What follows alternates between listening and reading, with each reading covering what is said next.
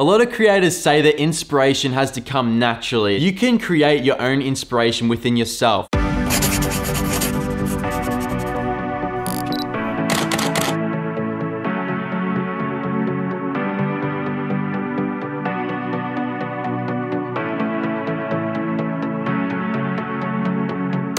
know, I know, you haven't heard from me in about a week. What is this plant doing here?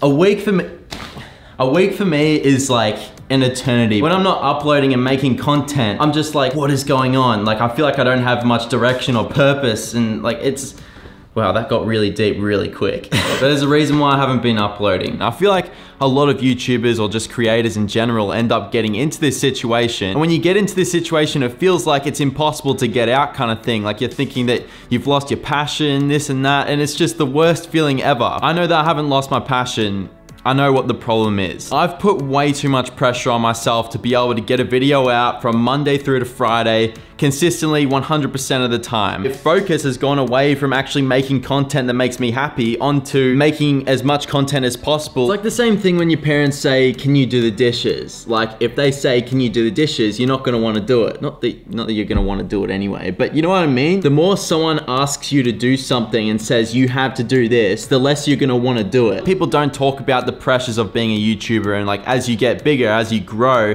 your audience demands more content and then the more your audience demands content, you're like, okay, I need to just pump this out, my audience will be happy. But if you keep doing it for the audience, then it's just, you're never gonna be really happy. In the first place, I didn't come into YouTube because I wanted to have an audience. Having you guys watch my content, it's the best thing ever, and I love it. But the reason why I went into YouTube was because creating content makes me happy. So what I'm gonna do tonight is I'm gonna go out, I'm gonna take some photos, not because I have to, because I want to. And I feel like that's what's gonna get my creative juices again. If I don't, I know that I'll eventually get it sometime. But today, it'll be really good to get it today.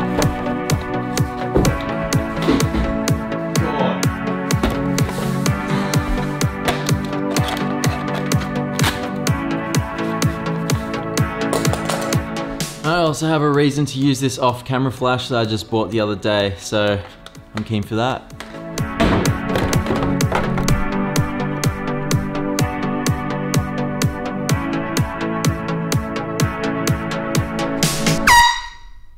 Do you want to make videos tonight? you.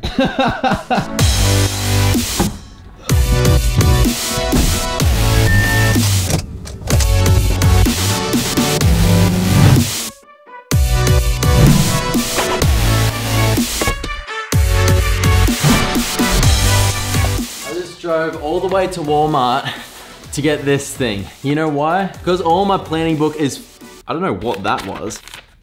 What the? Who did that? My whole planning book is full, every single page, so I needed to get a new one. But that's not the only thing. I also went to Walmart to get this. I'm not gonna tell you why, but you'll find out later.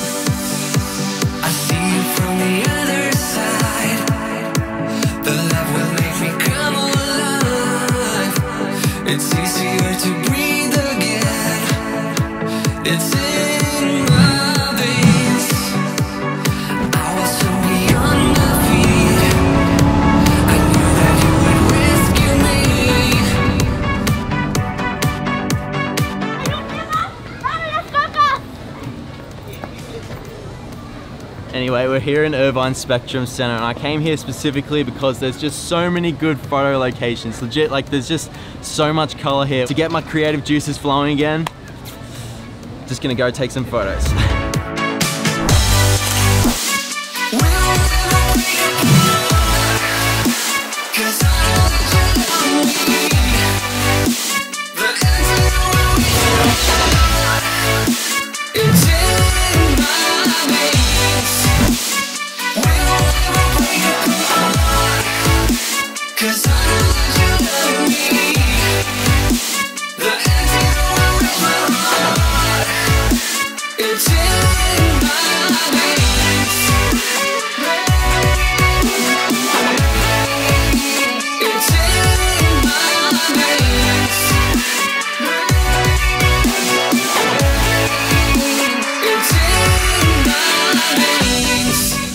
Are you making fun of me?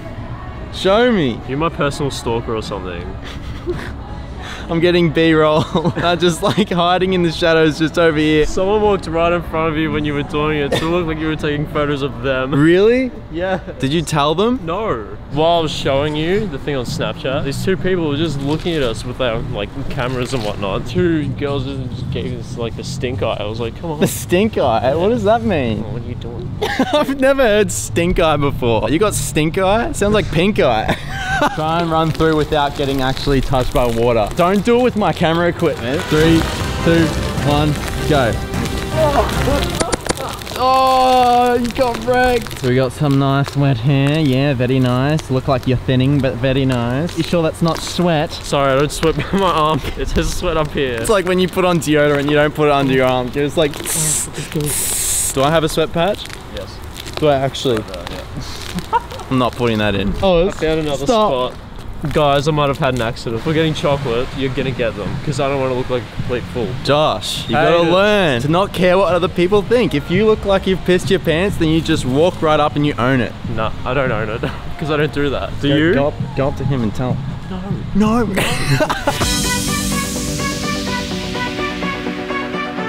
Okay, time to look at the photos. The first thing I want to talk about is this thing and the flash. So right here we have the remote. Inside this bag, we have the flash, but the reason why I put it inside this bag is because putting the white bag over it actually diffuses the light, makes it not as harsh. So the first photo I took was with the flash, but this sucked. I wouldn't call it a bad photo, it was just really artsy looking, and it definitely wasn't the look I was going for. Very contrasty, blue, and then I changed the oranges to pink in Photoshop, and it just looks really just crazy. It doesn't look like a normal photo that I'd take at all. If you're going for that kind of look, then yeah, that's cool, but reason why it actually turned out like this is because the light from my flash is the equivalent to daylight, and the light from the cinema is so damn orange. When you try to bring the color temperature down to something that's a lot more cool, it actually can't get to that point where it actually looks normal. It's also cooling down the part where the flash has gone off, and because the flash was daylight, it makes it even cooler, so it makes it really blue. And that's what created the contrast between the blue and the orange, but then I changed it to pink because I thought that looked kind of cool. So hmm. next time if I was using the flash in that situation where everything is yellow or orange or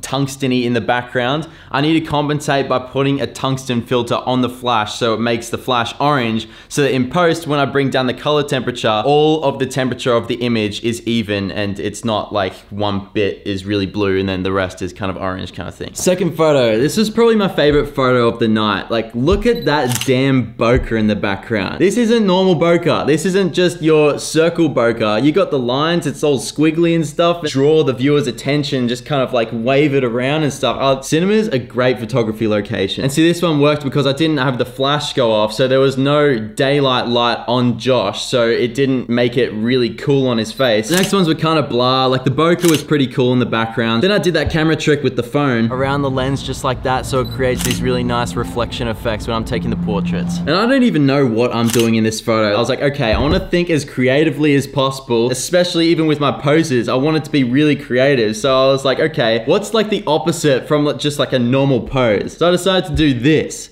And I look like an idiot. Let's be honest, I'll probably post it on my Instagram anyway because I know I'm an idiot and I just own it. I like this one of Josh at the Ferris wheel. What I did was I got down low, I shot his face in focus, everything else is beautifully out of focus. I love this damn lens, man. Like the 55 mil, highly recommend if you have an A7S or A7R2 or any Sony camera, definitely get this lens right here. Then the next one, I tried to be really artistic and stuff with this, but mm, this didn't work at all. The edit was crap, the bokeh was nice, but the way that the colors work and like, it- it's just, I don't know, it was, I was just a bad photography moment for me. You gotta make mistakes to learn. When we finished up there, I was like, I wanna take one more photo at that cinema. That cinema is such a good location. I'm probably not gonna come here for another few months or something. So rushed back there, took this photo. You know how I said the other one was my favorite photo of the night? This one's probably my favorite photo of the night. And this one, for once, it's actually not a 55 mil shot. This one was shot with the 16 to 35 mil, zoomed all the way out to 16 mil. So it's a pretty wide shot. Because it's so wide, it captures all of the landscape, all of the cinema, all the lights that are surrounding Josh in the background. He's a silhouette. And I I really liked that photo. The point is I went out and I took photos rather than just sitting at home doing nothing. So pat on the back for that. Even though it wasn't the greatest photo shoot in the world, did I get my creative juices back? Yes, I did. A lot of creators say that inspiration has to come naturally. You can create your own inspiration within yourself. The problem is, a lot of the time, like when I was going into doing this, I was thinking, oh, like I'm not gonna get my, I don't know if I can get my inspiration back. Maybe I should just wait until it comes kind of thing. Like it, maybe the more I force it, the more it's just gonna get away from me. I'm gonna lose my passion and everything like that. I can tell you from experience, just from doing this, actually going out and being creative, it does like restart your engine, so to speak, when it comes to creating content or just creating anything whatsoever. If you're in that mindset where you really don't wanna create and you feel like it's the last thing you wanna do and you feel like if you force it, you're just gonna make it even worse, that will only happen if you have a negative mindset. You have to have a positive mindset. If you're optimistic, you can literally achieve whatever you want. And that's not just with creative, yeah, creative. And that's not just with creating content or creating in general. That's with everything. That's with your business life. That's with relationships. It's all about having an optimistic mindset. That's all it is, no matter what you're doing. If you're optimistic, you can do anything. You just have to believe in yourself. Holy crap, 97,729 subscribers. You guys are, that's really, I shouldn't be looking at a subscriber count. What am I doing? I'm looking for question of the day. Question of the day. Why do you always wear a hat? Your hair is nice.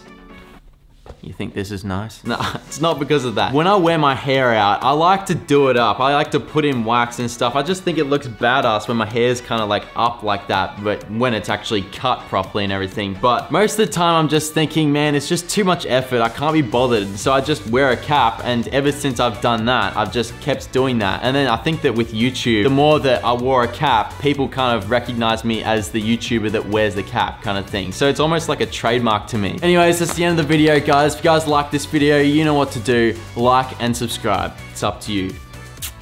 Yeah, that's that's it. It was awesome hanging out with you guys again, and I'll catch you guys next time.